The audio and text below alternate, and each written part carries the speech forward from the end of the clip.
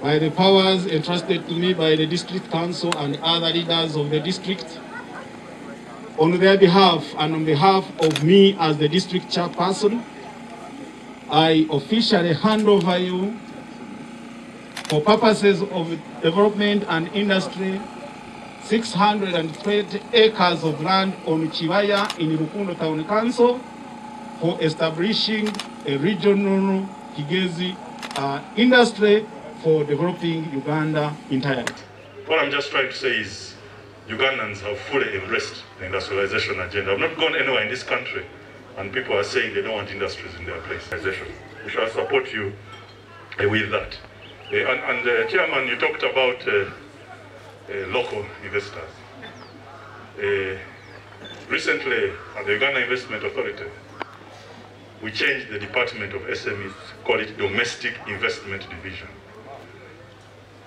I don't think you can, uh, as a country, grow middle income first, uh, uh, become a first world country only by foreign investment. We need our local people to actually take up the mantle of being industrialists. And we thank the President for having trust in him and having appointed him. And uh, of course, our message to him is that we have the land for industrial park and we believe that uh, uh, the, the industrial park is going to begin working.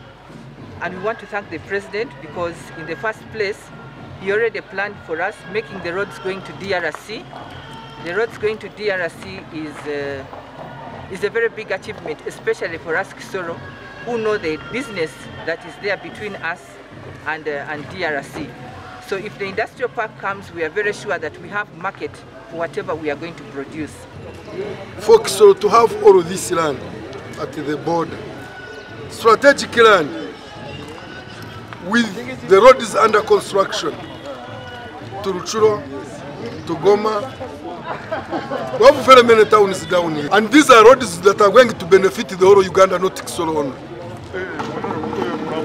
And this industrial park is not just Kisoro Industrial Park, this is Uganda Industrial Park. Because the factories we are going to construct there